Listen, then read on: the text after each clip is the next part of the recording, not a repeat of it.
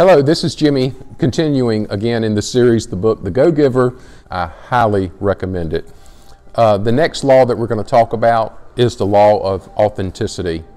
And I can really relate to this in that you've watched some of my videos. You can see I'm not a professional person who does this.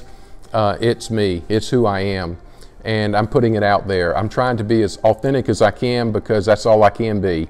Uh, I'm not real shiny. Um, I am what I am.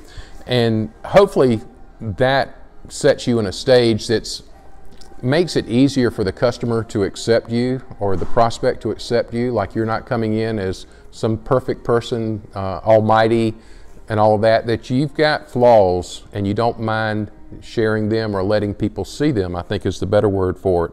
So the more open you are, the more authentic you are, the more business will actually come to you because they can relate, because nobody's perfect except my wife.